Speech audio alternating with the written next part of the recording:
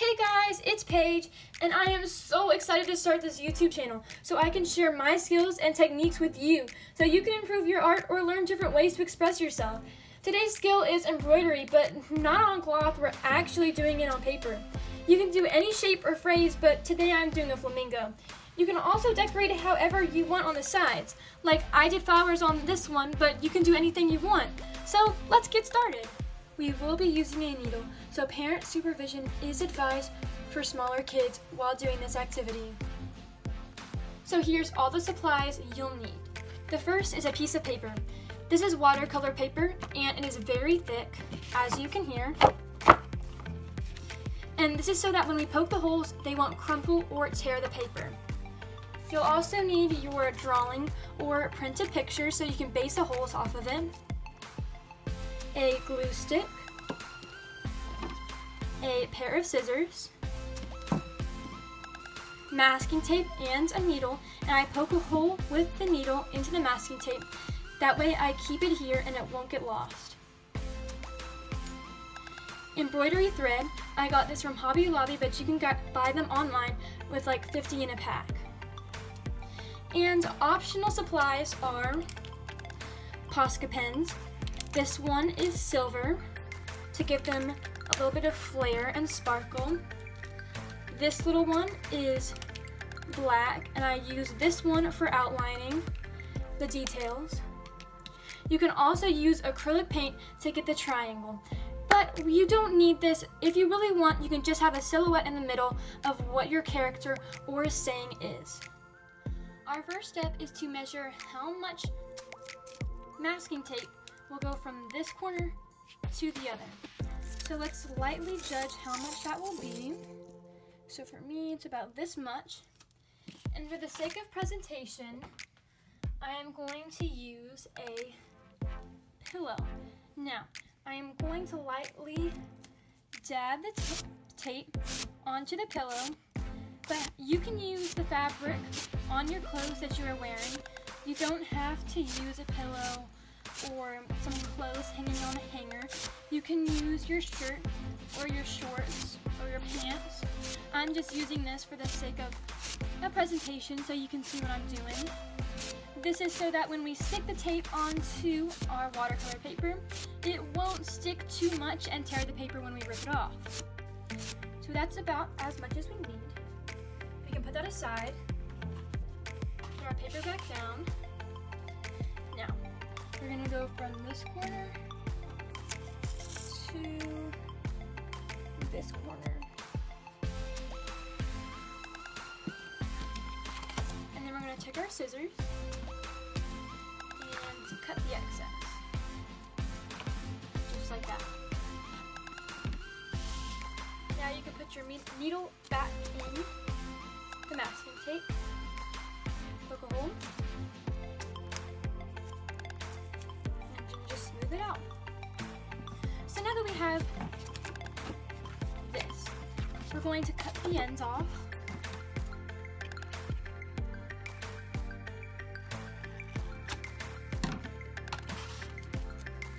Just like that. Let's do the other one now.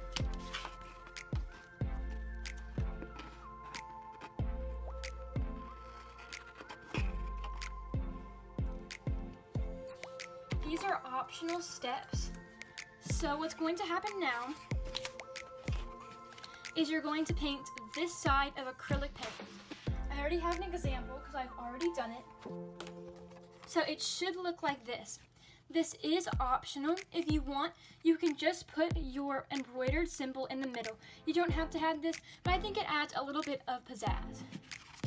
So now that you have painted this part, any color that you want, it should now look like this. So now I need to tape our picture to our page. Now that our picture is taped down, we're going to take our needle and poke holes around the edges, kind of like that. I'll do a time lapse of that and when I'm done, I'll come right back.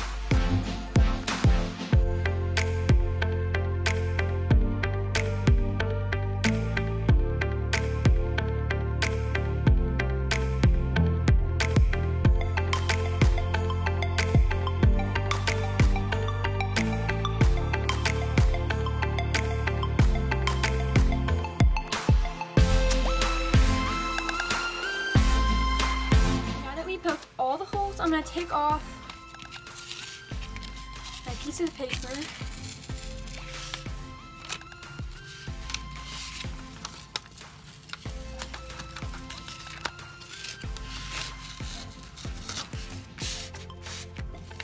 So we're left with this. We can put that to the side. And now what we'll be needing is our masking tape, embroidery string, and needle. So I'm just gonna take the two little binding things off here. Pull it out a little bit. Now I have to put the string into this little loop. It's gonna take me a little while, so I'll come back when it's done. I finally got the thread through the needle, so we're gonna start our stitching on the back of the paper. So we're just gonna put it in one of the holes. I'm putting it through the tip of the beak because that's the best place for me to start. I'm just going to keep pulling until I have a little bit hanging off. Now we're going to get a piece of masking tape and tape that down. So now we're going to flip our page over and then go to the next hole. Then just pull tightly. And then we're going to go to the next hole. Pull tightly. And this is where our pattern starts. Our pattern is back, forward, back, forward. So we're going to go back to complete this gap.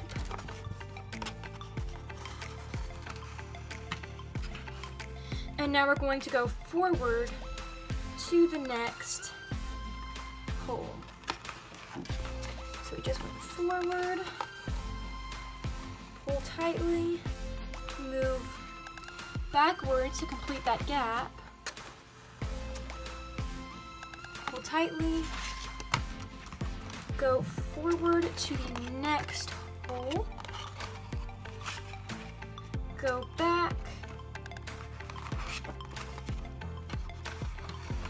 fill in that gap. And as y'all can see, there's a pattern to it. I'm gonna do it one more time and I'm gonna do a time lapse. So we're going to go forward into the opened hole that has no string in it. Then we're going to go back to fill in the gap.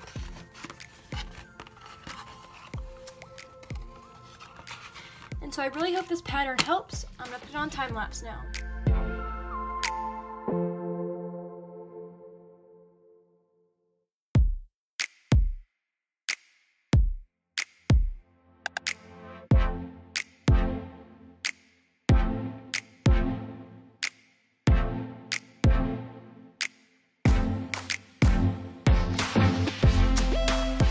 If you run string, no worries. Just get some masking tape and tape it down. And then get your embroidery string and cut you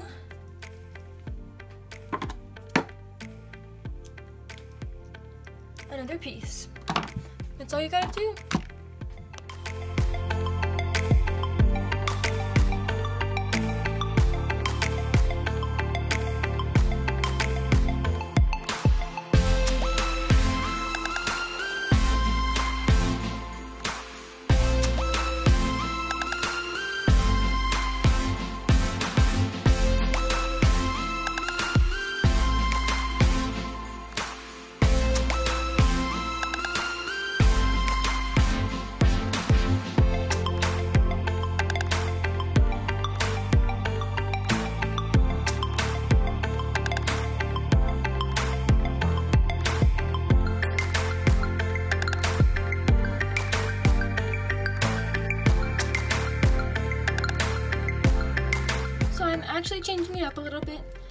However, you do not have to do this if you don't want to.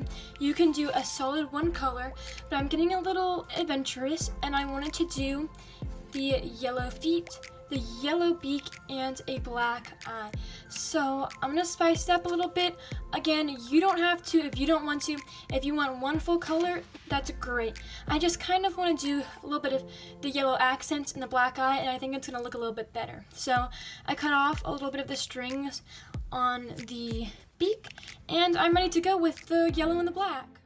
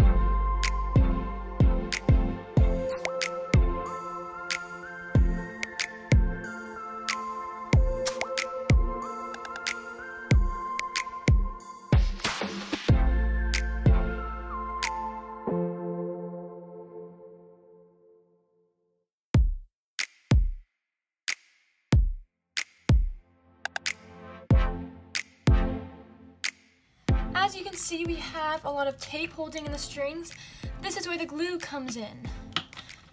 All you have to do is take off that tape. For instance, I'm working on this one. I'm just going to glue that string down by taking all this tape off. It, it is tearing the tape paper a little bit, but that's okay because this is the back. And the back doesn't always have to look good, especially when you're doing string art. I'm putting it over these problem areas. Taking all that tape off. So we don't want that on the back of our string art though. And when it dries, these strings will be stuck to the back of the paper. And it is very late at night right now when I'm finishing this. I'm lucky I have all this lighting systems. Because if I didn't, you would not be able to see what's going on right now. I have a lot of different um, ends because I did multiple colors.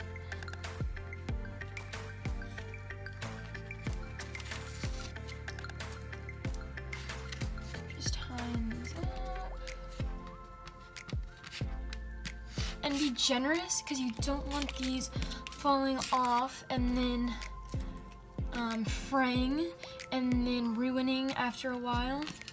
So you want to make sure you coat them so that they don't fray. And then start messing up what you did for hours. There we go, all the tape is off and all the strings are drying. So now we just have to wait for this to dry and then we can turn it over and see our final product. However, I am gonna add some details, so it won't really be the final product. It will just be um, the final product of the strings, because I'm gonna add some flowers, I think. So yeah, 12 o'clock at night, the glue is dried, and I wanna show you the front. So without further ado, ta-da! I think it looks really cute. And we haven't even finished it yet. I am still gonna put some decorations on the side, although you don't have to, you can just leave it like this. But I think mine needs a little bit more something to just tie the whole piece together. Just like this one that I made. The flowers tie it all together, and that's what I need for this flamingo painting. I'm going to draw something and paint something that ties this whole theme and painting together. And if y'all don't know, this string art is based on this painting that I made. I finished it this month, and I love how this one turned out. That's why I'm making string art based on it. And flamingos are also my second favorite animal, so that's why I was inspired to do all of this to begin with. So I'll see you in the morning and I'll see what I can do to tie up the whole painting. So I finally finished my painting and I think it looks absolutely gorgeous.